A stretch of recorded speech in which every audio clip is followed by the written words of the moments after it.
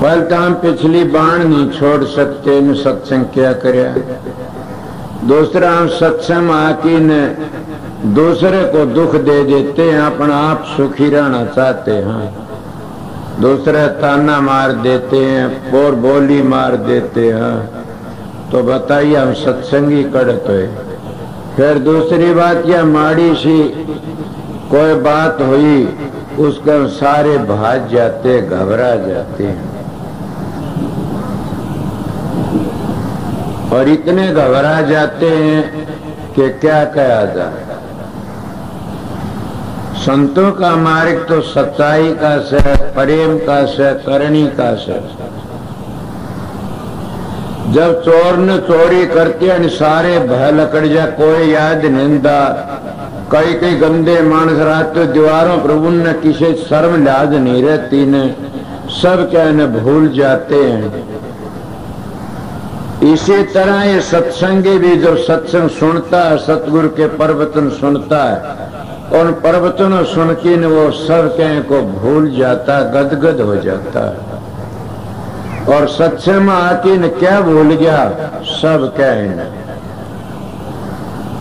आपने सुना भी होगा कि सत्संग की महिमा तो बड़ी भारी से मैं सत्संग करना चाहूँ था, मिसाल याद आ गई, पुराने जमाने में सुनी हुई थी। ये दान तो ही बड़ा सा सत्संग, तप ही बड़ा सा, यज्ञ ही बड़ा सा, होम तो ही बड़ा सा, तीर्थ वर्तो तो बड़ा सत्संग। क्या कहोगे? कितना बड़ा बताऊँ? अट्ठासी हज़ार वज़न तप करा उस तो सत्संग बड़ा सा। और सत्संग आखिर कितने पापियों का उद्धार होया? और कोई एक आधा परवान तो मेरा आगे बोल दो, उसका पर उद्धार होया उसका चीज़ों हाँ स्वर्ग बैकुंठ मिल गए होंगे। सूर्य लोक में पितर लोक में, ब्रह्म लोक में, इंद्र लोक में, विष्णु लोक में, ये कोई बात इन तारा मंडल में, इन लोकों में चले गए मोक्ष नहीं मिल सकती। बल्कि मैं तो उरे लग भी कह देता हूँ कि दो किस्म के सतगुरु आते हैं। एक आता संसार में जीवों को बांधने के लिए, वो औलाद पैदा करने लिए आता। एक आता संत सतगुरु जीवन लेने के लिए बांधने के लिए नहीं आता, ने वो जीवन लेके चला जाता, न वो मज में फंसाता, न वो कुम फंसाता, न उनको मज बनाने की ज़रूरत है। न उनको और के उन तो सीधी शिक्षा देनी से। और वो सारे मजबों की एक पीढ़ी जानता, पूरा संत सतगुरु आता, उन्हें सीखने, सिखाने ज़रूरत नहीं। वो सब की शिक्षा जानता सबके जो साधन क्रिया, सबके जानता है। जो पूर्ण आता है। और वो अठारह मंजिलों का पूरा भेद भी जानता है उस भेद का बगैर कोई जा भी नहीं सकता मोक्ष में। उसका पूरा पता नहीं, इतने लोग टक्कर मारते, फिरते मेरे गाँव में। दस दिन तो मेरे एक बड़ा भारी मुकाबला मचा था। और कहा, कौन है दावत बोलता कौन ऐसा? वेदों का बगैर कुछ नहीं है ने बड़ा भारी दावा कराया उसने कि वेद जड़, वेद सब की जड़। मैं उस वक्त में सत्संगी बनया ही था। मैं ये बात बता देता हूँ कि संत सतगुरु जो मिलता है, वो ये नहीं कहता रूढ़ी मचाओ। ये नहीं कहता, मैं वो फंस जाओ ये नहीं कहता तुम तीर्थ बरतो वो कहता, गुरु, सतगुरु तेरा अंदर बैठा से उसकी तलाश करे और मंजली मंजली उसको ढूंढ ले चल की नहीं जितना तो एकांत बैठ के अभ्यास करेगा, साधन करेगा, उतनी शांति मिल जाएगी, सारी तसल्ली हो जाएगी कि सतगुरु नाम किसका से इसलिए मैं भी कह देता, सतगुरु नाम है ज्ञान का, समझ का, विवेक का। कल परसों बाद से मैं कोई बातें सुनी थी। हजूर महाराज, स्वामी जी महाराज के गुरुमुख शिष्य थे। मेरे पास शंकर ये बैठे हुए थे, जकरा चल गया। माँ हजूर महाराज जैसा गुरुमुख न धरती पर आया, ना आ सकता कोई और हजूर महाराज ने कहा से कि संत सतगुरु जो होता है वो कुछ और ही वस्तु होता है संसार में आता है जीवन लेने के लिए से। समझ गए? और सेवक भावता आता है। वो तो दुनिया का उद्धार करता, ज़रूर भी कहता, मैं सेवक हूँ।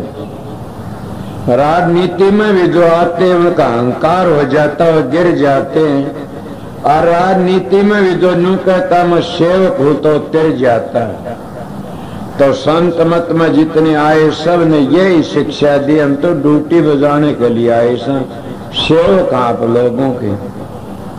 और सेव करेगा, इतने वो काम कर सकता, फिर कर भी नहीं सकता नहीं तो न बड़ा भारी डंका बजा के, वेदू तो बार कुछ नहीं, वेदू तो बार कुछ नहीं। अब भी कोई होगा प्रेमी बोलने वाला, बोल सकता, मैं भी बोल लू।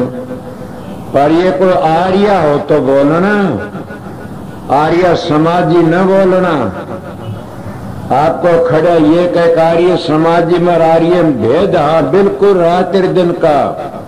आर्या तो एक धर्म हमारा, सिखों का, ईसाइयों का, हिंदुओं का, मुसलमानों का।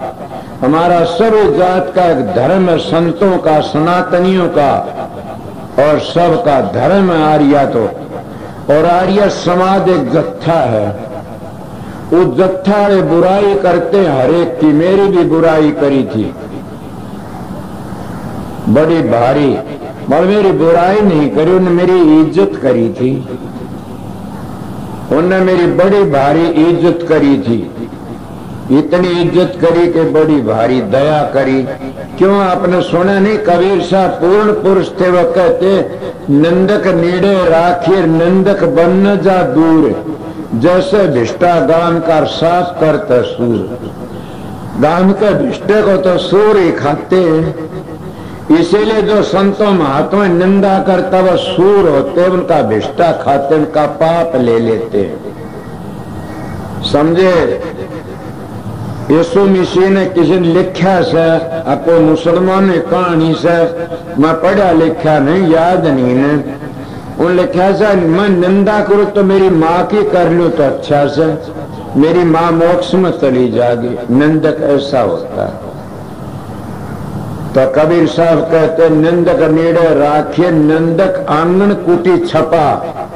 बिन पानी, बिन साबुन व निर्मल कर सुबह मैं गाँव तो बाहर नहीं लकड़िया, कबीर गाँव में बड़ी निंदाए करी। बड़ी भारी आज वो दूसरी हाड़ भी बात करते, प्यार भी देते।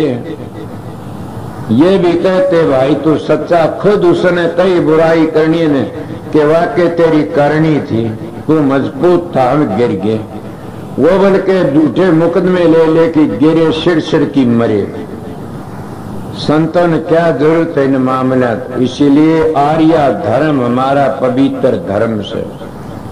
और आर्या धर्म तो संत मत ही जानता, पहला आर्या धर्म क्या बताया गुरु में कई बार घर में अपने स्त्री पुरुष प्यारता रहो। ये हमारा सनातन धर्म भी है। दूसरा क्या हो तो माँ बाप की सेवा करो, ये भी हमारा सनातन धर्म से, आर्य धर्म से। और तीसरा में ये का सदाचारी बन की रहो।